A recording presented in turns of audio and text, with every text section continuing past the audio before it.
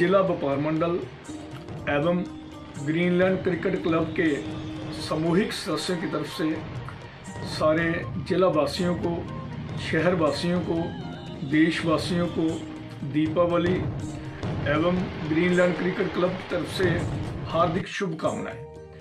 आने वाला समय हमारे व्यापारी भाइयों के लिए और जिन बच्चों ने स्पोर्ट्स में हिस्सा लेना, उनके लिए बढ़िया आए और जो बच्चे आने वाले कल में हमारे देश का नाम रोशन करें।